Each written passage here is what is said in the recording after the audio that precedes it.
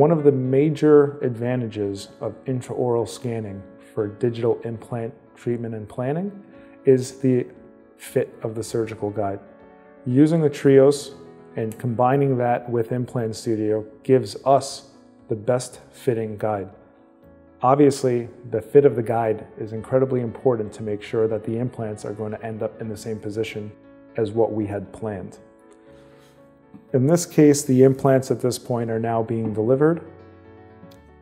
The final implant is going in through the surgical guide. We have the final implant placement.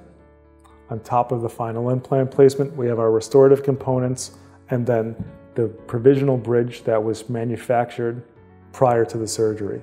And so the patient came in with no teeth and left with three incredibly strong teeth.